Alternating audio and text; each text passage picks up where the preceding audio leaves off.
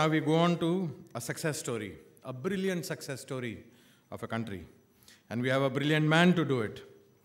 Israel and inventions started about 50, 60 years ago in the book that I mentioned to you in the morning. Do you know that Israel is the country where the USB pen drive was born? All of us use it. It has become as common as a paper clip today. No? A simple invention, but what transformative power of innovations. The other few items that Israel is famous for is the Uzi machine gun. You know? and lots and lots of defense and security equipment worldwide, which is at the cutting edge.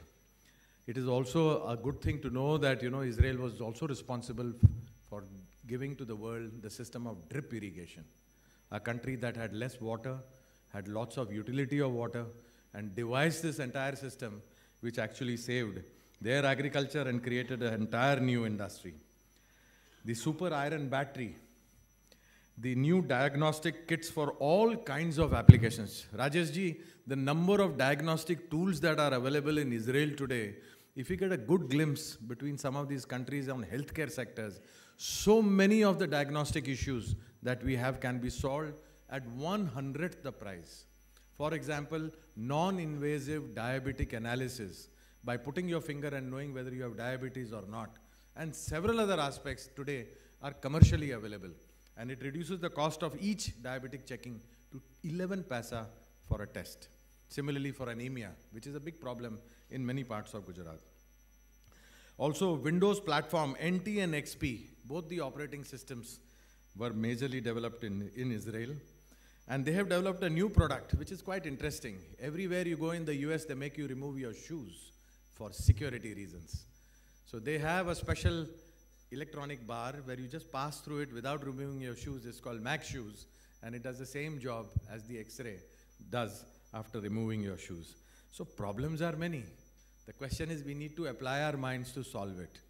And this habit of entrepreneurship, this habit of innovations is something that Israel has done so beautifully. And I think it's an outstanding, shining example in the world. And an outstanding man, Dr. Harry Yuklea. It is my proud privilege, Harry, to introduce you to this August gathering. He is from Technion University and is on the advisory board of iCreate.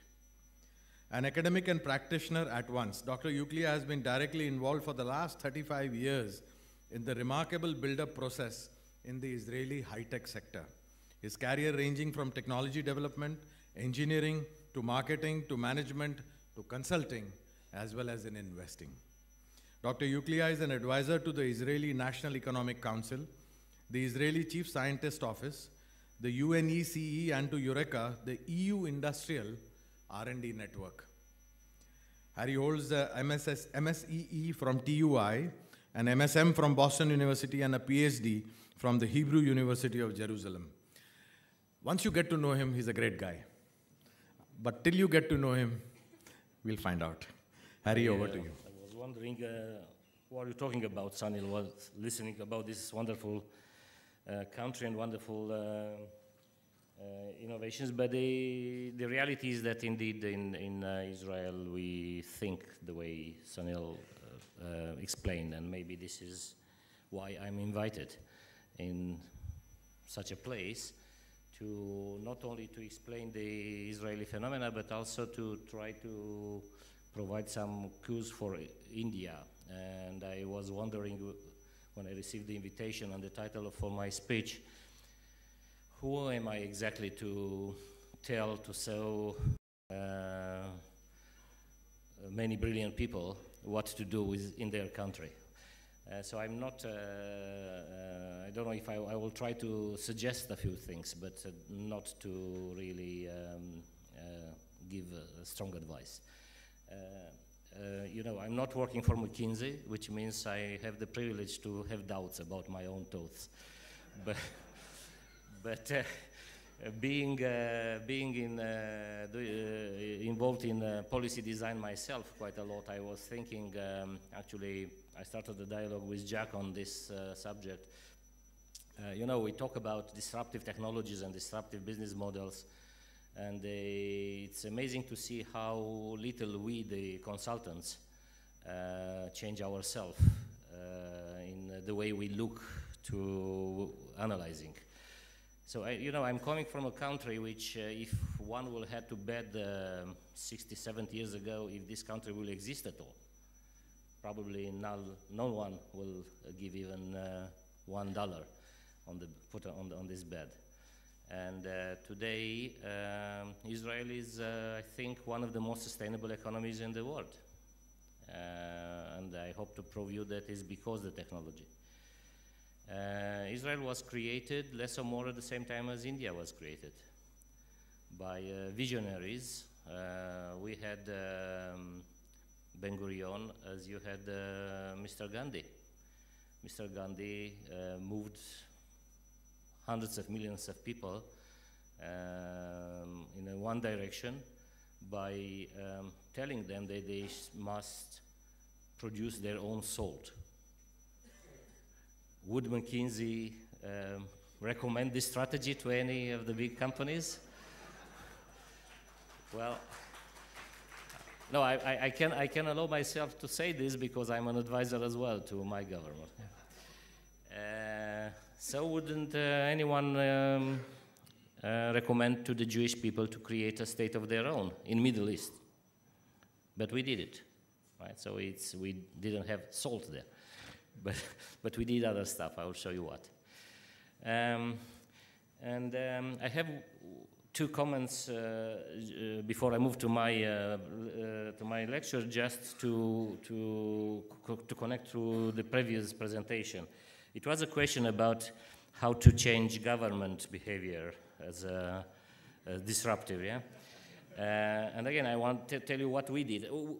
First of all, my advice, don't try. I mean, governments don't change and they are the same everywhere. But what we did in Israel, at least, um, because we are less, a lot, a lot, a lot, a lot, a lot less patient than you are here in India.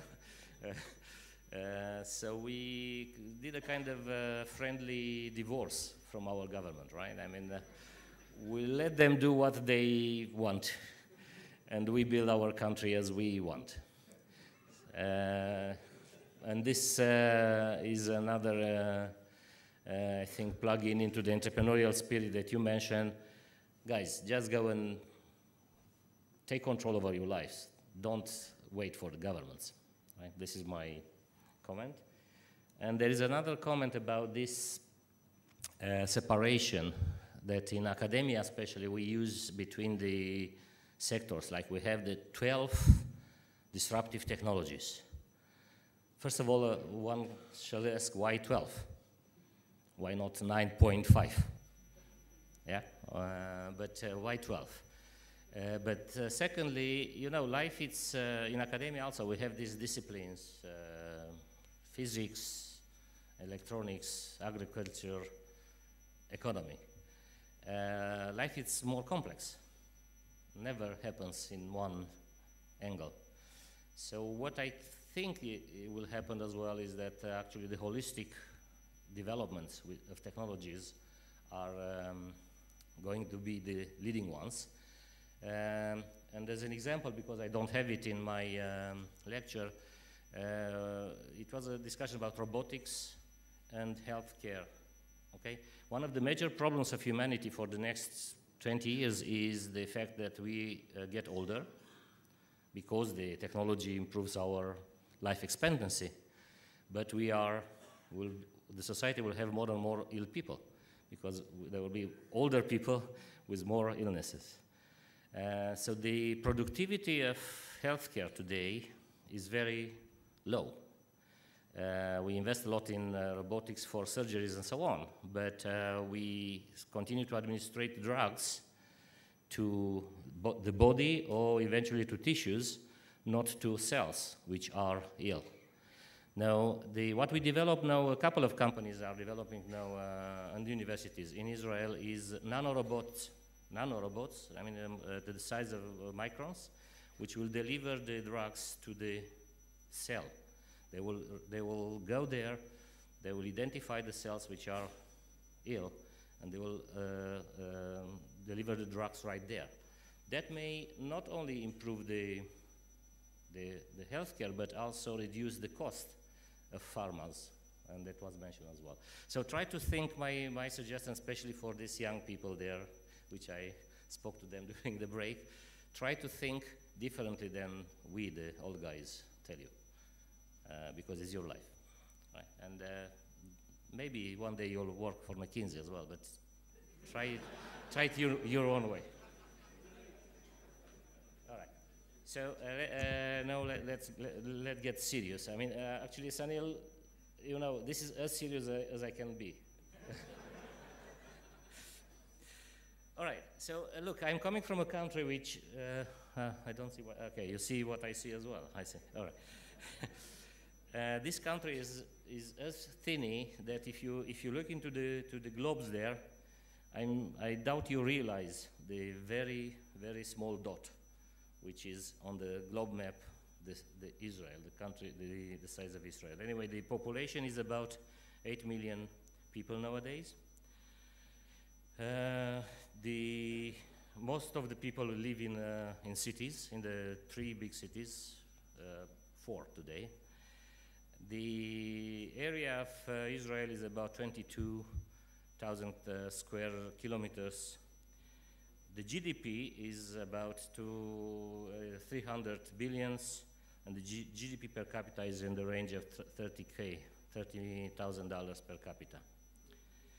Um, I don't know if you imagine how, what it means, but um, do you know?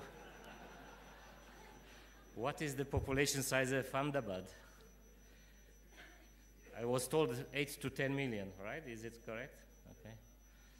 And uh, the size uh, is uh, less or more 20 to 23,000 square kilometers with the periphery, with the cities around, the urban area.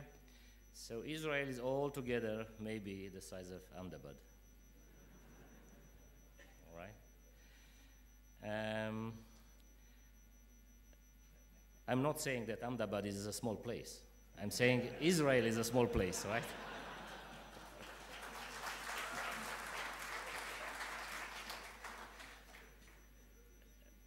um, and we consider ourselves, despite being in, you know, geographically and geopolitically in Middle East, uh, we consider ourselves uh, as part of Europe. Uh, mostly because they don't want us so much in Middle East, so we have to go somewhere. And the Europeans um, relatively love us, at, at, least compared to the other option. so um, uh, you can see here um, the intensity of uh, high-tech investment or attractiveness. Okay, how much venture capitals and uh, financial uh, instruments dedicated for high-tech funding invest in various European countries and in Israel. Obviously, uh, the darker is your um, color, the better you are. Um, and the, you see that we are living in a huge area of yellow um, kind of shadows. Uh, but um, uh, in Europe, at least, we and the, uh, Israel and United Kingdom are sharing, are number one and number two in terms of entrepreneurial intensity, each with about 30% of the total investments in high tech. So UK and Israel together take about 60% of the European funding in high tech. Depending on the exchange rate between pound and, and uh, shekels, uh, number one and number two are changing, but um, we are pretty, doing pretty well there.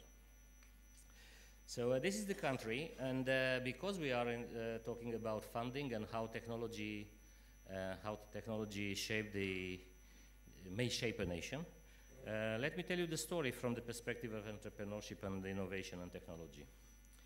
So the story of Israel is uh, like this. in fact, th that, was a, that was a Jewish state in that, in that land about 2,000 years ago, and like, you know, the history takes many rounds all the time. Um, most of the Jewish tribes had to leave 2,000 years ago. Uh, and it was in the cultural dimension of the of, of, of Jews always a dream to come back well, it was, was more like more like really like a dream. I mean, I don't remember uh, people really intended to do it, right? But it was a dream like this, uh, like you know, like many of the cultural heritages that uh, old um, uh, nations, like uh, the Indi various Indian nations, are have. there is something you aspire to, not necessarily intend to implement, but to aspire to, for about 2,000 years. Anyway, a group of visionaries decided um, about 100, 100 and something years ago to try to create again a, a Jewish state. And they call it um, Israel. Now, um, from the very beginning, this, um, this pragmatic dreamers, I will call, uh, decided that in the modern society, a modern state uh, uh, the, uh, for, for, the Jews must be technology uh, dependent or, or te technology based because the history of the Jewish people as well. I mean, you know, they had to go in many countries and they always were deprived of having the, their own assets or stuff like this. So uh, if you don't have land, you don't have any other assets. Uh, the next um, thing you can use is technology. And this is how uh, uh the state came from the beginning. So in, in uh, 19, uh, the beginning of the century, the Fifth Zionist Congress uh, decided to, or called for the creation of a technology Jewish university in the land of Palestine, which was at that time, like India, governed by the British Empire, was part of the British Empire. And in 1912, the cornerstone of the Technion was uh, set on the Mounts of Carmel, uh, this is Mr. Einstein, which I'm sure you heard about, uh, who was one of the first presidents uh, of the Technion Society. In 1923, uh, in a visit in Haifa, the Technion, the, in, the, in the old campus of the Technion, uh, they actually um, decided to buy a piece of land. That was before the creation of the state, right? The state of Israel was created like India in 1947. Uh, so the, the Technion University, the first university in Israel, and the, uh, was a technology university and was established before even the state was created. So before even having a political um, organization, the education came as, uh, on the first place. This is the old building. In 1924, it was built in 1924. You can see how I Israel looked at that time, less or more. If you look behind the building, it's nothing there. Right now, this is the center of town of Haifa, uh, which is the third town in size in Israel.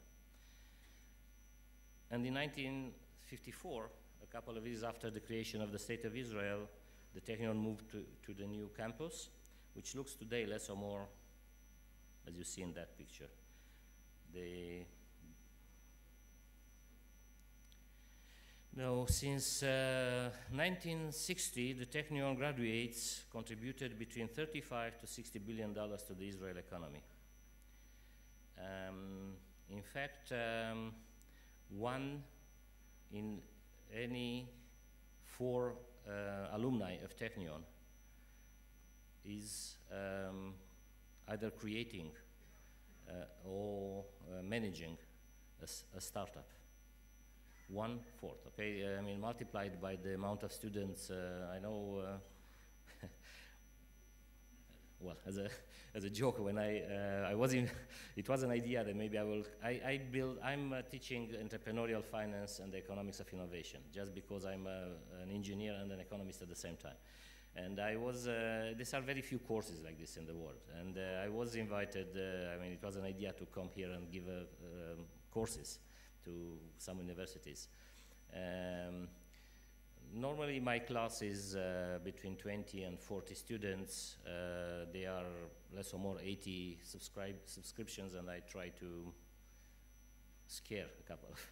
so I get a, a, good quality of students. So, and um, the people here talk about 800 students in my class if I'm coming to teach. so this is the size of the, the, the, you know, the difference in magnitude. Now think about having one, 25% uh, of uh, Indian IIT and IIM graduates uh, starting their own startup and think about the impact on the Indian ecosystem. Anyway, for Israel, it did pretty well. I mean, uh, we have uh, about uh, the high-tech industry employs about 8% of the workforce and contributes about 14% to the GDP. So it's very heavily, very good return on investment, talking about educating students. Uh, some economic models which we build show that the people graduating next year, which is the uh, two about almost 3,000 uh, graduates um, will create during their career, their life, for Israel or for other countries, but they will create between 1.76 to 3 billion uh, dollars in net present value. Uh, think again, if we talk about somebody, it was a question about the education system, think again where to invest your money in education, technology education, or, I don't know, building some casinos, some, I don't know, betting points. Um, and we have the obviously very, um, very, how shall I say, high quality uh, intellectual rewards as well. Um, three, I think there are four already Nobel Prize winners. Uh, which are coming from the Technion. Uh, by the way, there are about 11 altogether in Israel, uh, which is, the, I think, the highest, also the highest yield of nations between the Nobel Prize winners for science. Um, here is Dan Shechtman, the latest one, uh, the, who got uh, the 2011 uh, Nobel Prize for the discovery of the quasi-crystals. And um, do you know what Dan is? oh, he's a colleague of mine, yeah. I didn't mention. But uh, uh, do you know what he's, is he teaching nowadays? Oh, he got the Nobel Prize for the, his research 30 years ago. What is he teaching nowadays? He's teaching entrepreneurship. He, he believes that uh, engineers and uh, scientists must leave the ivory tower and do something in the society. And this is what he's uh, dedicating his time to teach entrepreneurship by scientists and engineers. Well, still we are in Middle East, in, the, in our region. And in our region, as you can see here, you are rich if you have natural resources, oil and stuff like this. Till recently, when we discovered also some uh, gas uh, reserves uh, Israel had just sand. And if you have sand, what you do? You develop a silicon industry, right? So, so Intel has a plan there. no, but it's not th that sand, all right? And anyway, Israel is, so, so in the Middle East, either you, are, uh, you have oil and you are then rich, or uh, you don't have oil and then you have um, wars like the Syria, and uh, you know what happens nowadays. So uh, this is the natural choice, I would say there. Um, Israeli, Israel, the Israelis uh, took another angle and uh, choose differently. So we started um, doing something, and we didn't accept that the fact that we don't have natural resources must stop us, and we did something else. Uh, so, and uh, you can, as you can see, we are doing pretty well, despite not, not having any oil uh, so far. And anything else, actually, which even the, the state itself was created on unproductive soil. I mean, the, the agriculture was not there. Uh, the, the, the, the, Zionist Congress acquired um, land from the uh, Ottoman Empire, uh, which and they sold obviously the the sand, stuff which was not productive, uh, and then um, you'll see what happened in the meantime. I mean, Israel today is one of the leading uh, economies in uh, agrotech. We actually produce almost everything we need ourselves.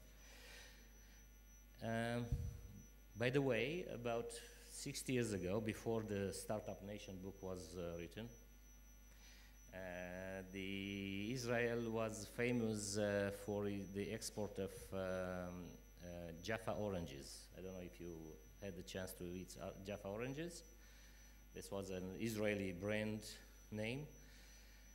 Today, if you want to buy uh, Jaffa oranges, you can buy them, yeah, you can still buy Jaffa oranges, except that they are produced in Spain under, uh, under Israeli license because it's too expensive to produce oranges. So we do other stuff.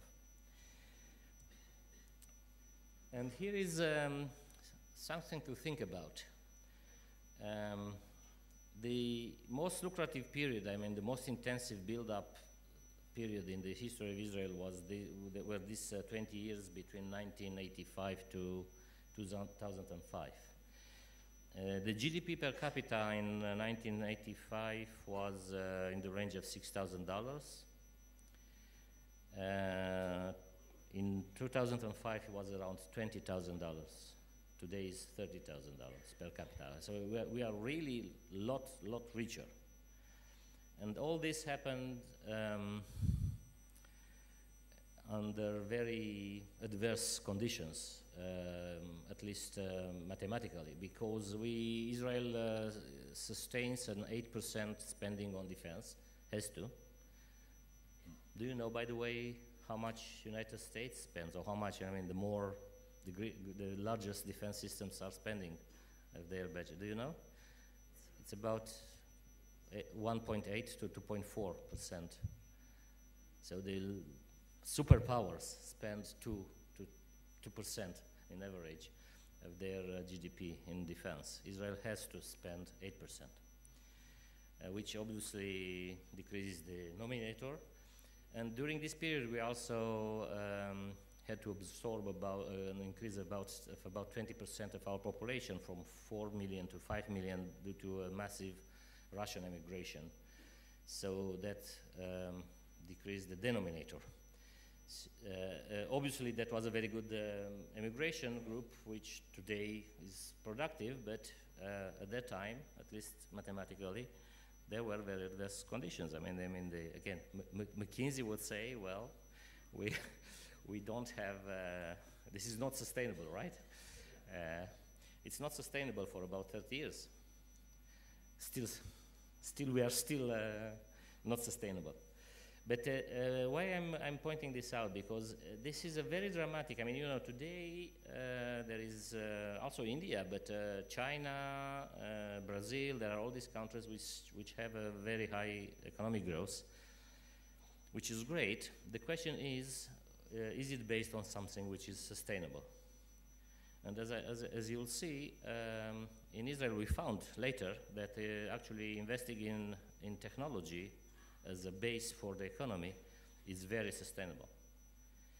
Um, again, I'm not giving advice to India, but think about it. You'll get maybe to the conclusion uh, where is the best to spend your next dollar.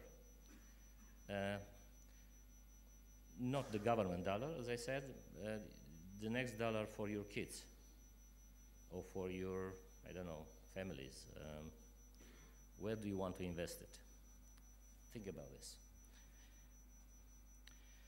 And again, if you are not still convinced completely, let me show you what happened over 50 years. Uh, this is the GDP per capita of Israel, the red line, and the blue line is the high-tech export in percentage out of the industrial export.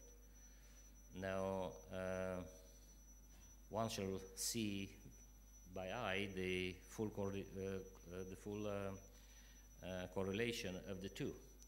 So if we are re- indeed richer, uh, at least financially or economically we are, maybe not intellectually, but uh, economically we are richer, that's for sure. Uh, that is for clearly because of the, um, the high-tech sector. And let me give you a couple of uh, examples. I choose a couple of examples that may illustrate how the high tech, the industry, the entrepreneurship, the innovation, and the nation, the formation of the nation, went together. Uh, ISCAR is, uh, I don't know if you know ISCAR. It is, uh, okay, so ISCAR is, um, um, let's say, a factory, a metal work factory. Uh, like many I've seen uh, on the way to the airport in this small, uh, I mean, it's really started as a, really started as a um, home, let's say, home business by um, Stef Wertheimer. Stef Wertheimer is, was one of the first, uh, he was a, a, member of parliament in the first parliament. He doesn't have even a formal academic education. He's uh, immediately after the, the, Second War, he came to Israel, he was uh, building a society, right? And then um, it was this call, the best should go to technology right? We had, we had we, from time to time we changed this uh, slogan, but we have like periods in which we say the best to the army, the best to technology. Now we want the best to academia. But anyway, he was a member of parliament, so without even, even education, he left the, political, the, the, politics and started this small shop, producing um, all kind of, you know, uh, cars for the defense or whatever, metal work. in time, um, is, is, uh, is, ISCAR built a, a, plant for very accurate, very precise blades, which were used for many applications.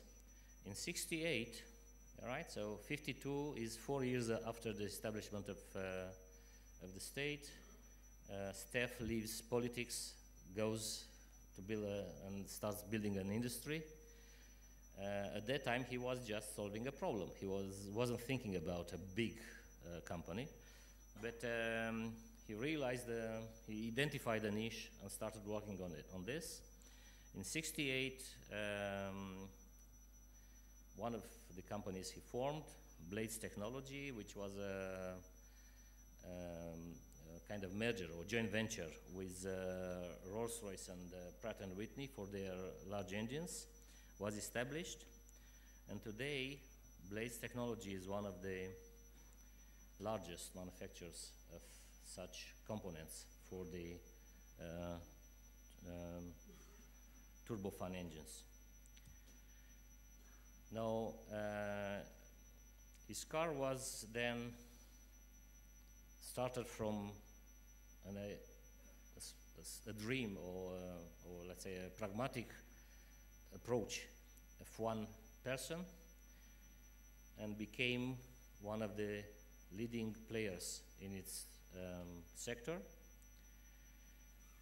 Till uh, in 2006, ISCAR was acquired by Warren Buffett. Was the first acquisition of Warren Buffett in Israel. And this is a quotation of what uh, Buffett said at that time. Again, Nobody talks about ISCAR because it's not in the mobile um, um, smartphone stuff business, but it is. It was sold for about one billion dollar, maintaining all the employees in Israel. So they, it's not like in other cases. The the operation not only that was not um, expatriated, but was actually the operation increased, and uh, it is still uh, Warren Buffett uh, this year still in the annual report, they, he said that this is one of the best investments um, Berkshire did in all its portfolio. This company, by the way, is fully operated, is uh, not fully operated, but the, the, the mostly operated by robots. It is in the north part of Israel in a not so much populated area. And Stef Wertheimer made another, he's famous for a, actually for a different approach. He builds this kind of high-tech parks in poor areas. This is, a, um, this is an area with heavy um, Arab population and a lot of Israeli Arabs work in these countries. Okay, so he has a couple of parks like this. Uh, the latest one was built in Jordan, together with the Jordan government. So this is the social dimension of the high tech. Okay, Stef Wertheimer started as a politician, went to the industry, and now he's actually uh, active back into in society by using, leveraging the industrial prestige uh, to build a society which is, you know, clean and uh, based on ethics and so on and so on. You heard already about Netafim. Netafim is the company which invented the drip irrigation.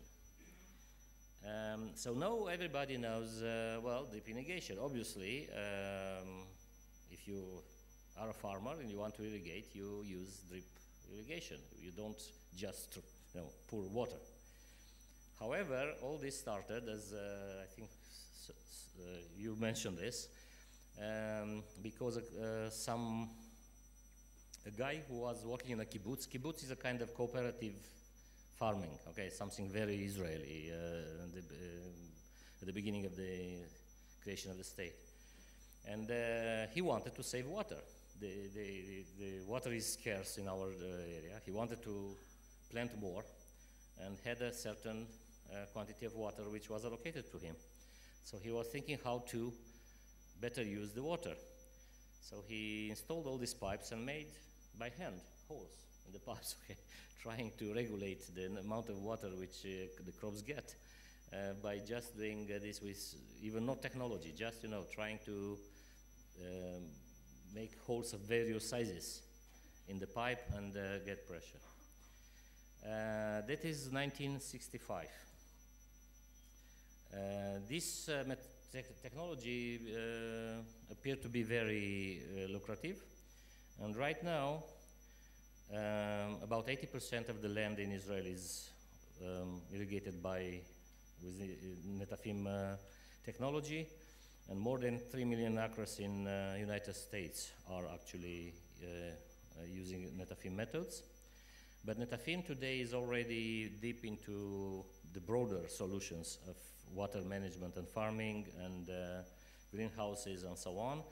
Um, I know that they are active in India. Uh, they have uh, here large operations.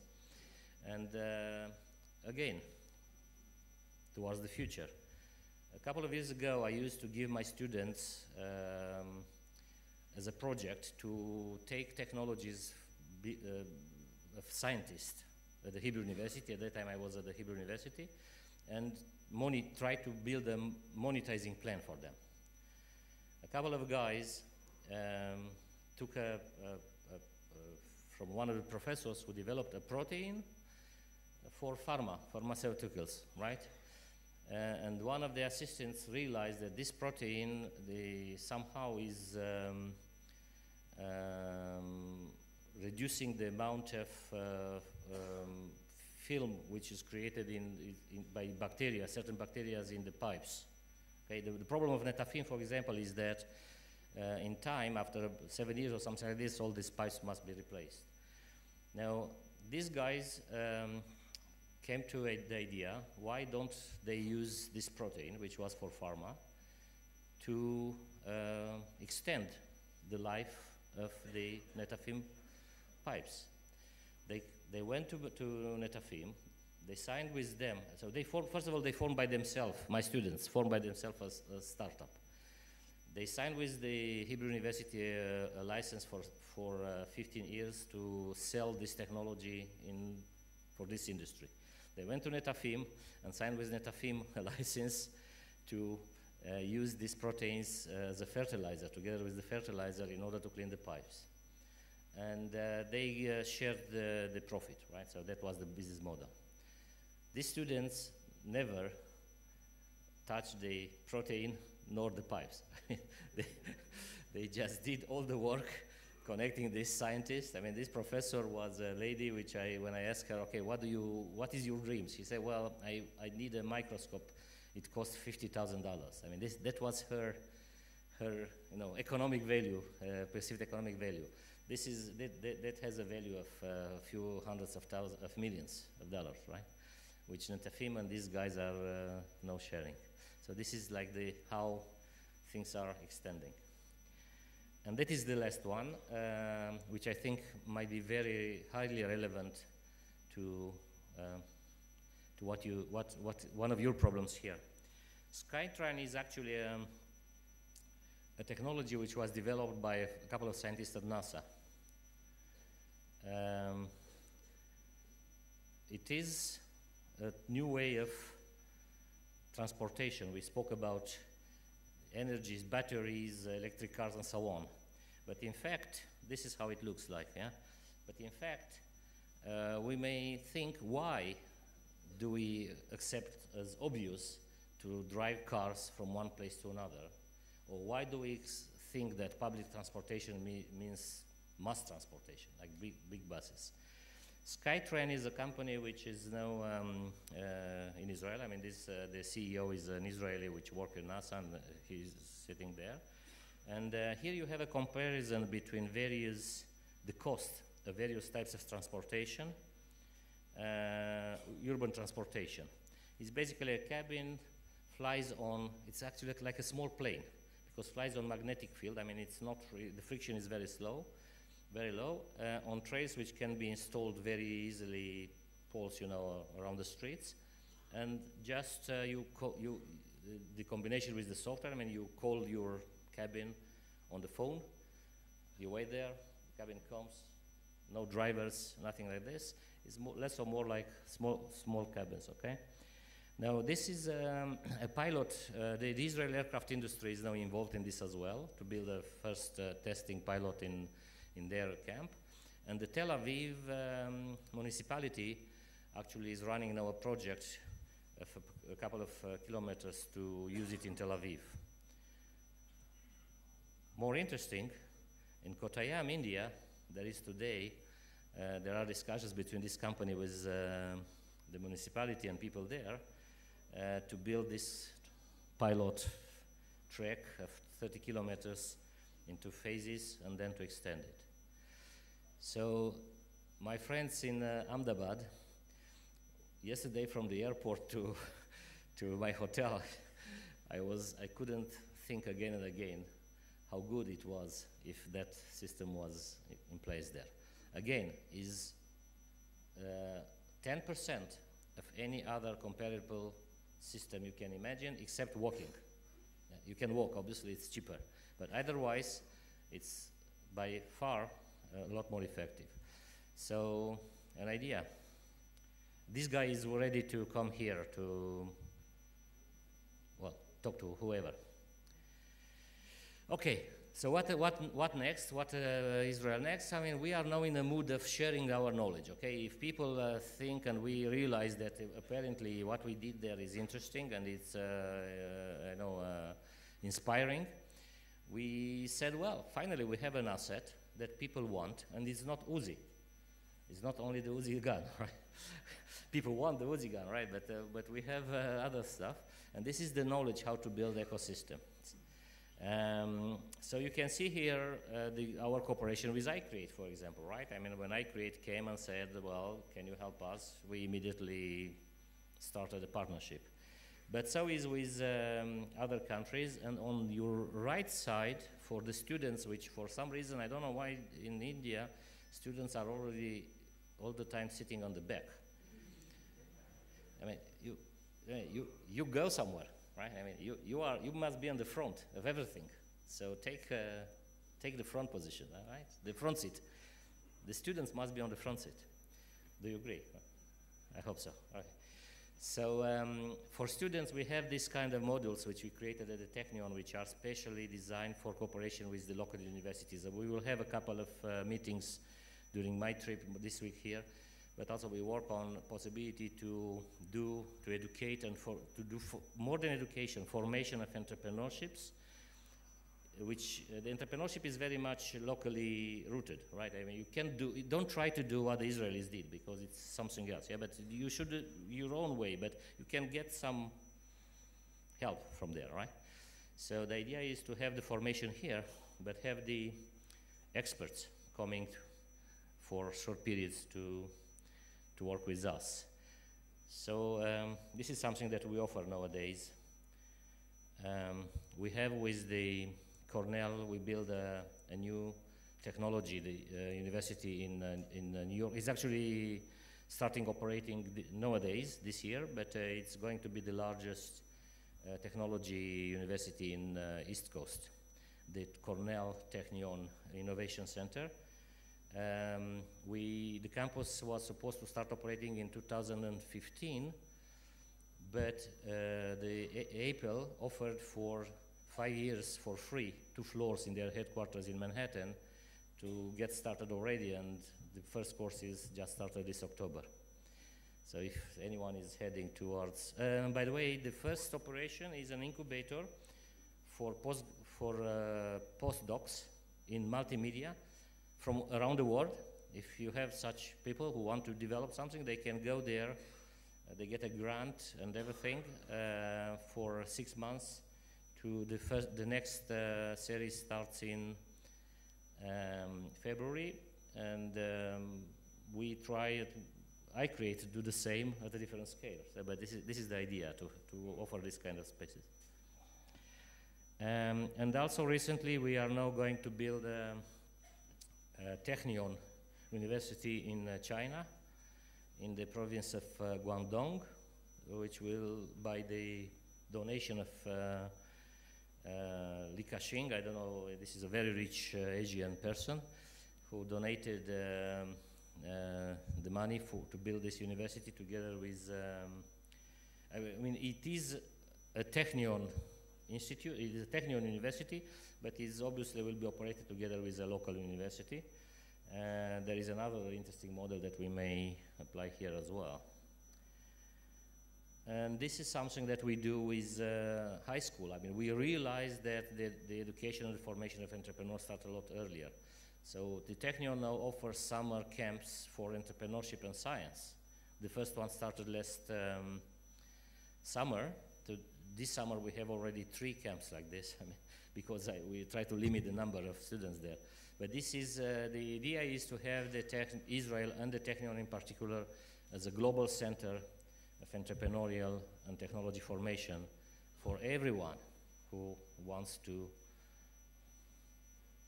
not to be at McKinsey, not to work for McKinsey. Right?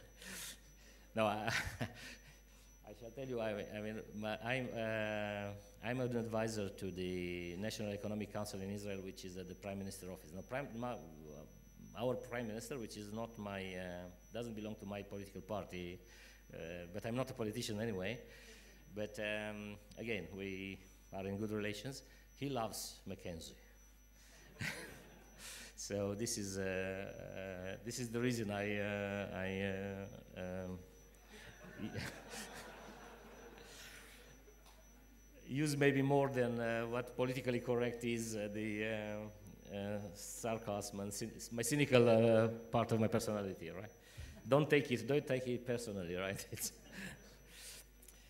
um, so this is my, my point. Now, uh, there is no advice or no cause to direct, at least, advice to India because I don't think that this is what we shall do. I mean, we are Israelis. What works in Israel will not work exactly like this in India. But I try to give a couple of suggestions. Now, if you want to discuss these suggestions and come from your perspective to us and get an opinion, a friendly, very friendly opinion, you are invited. So thank you for the time being.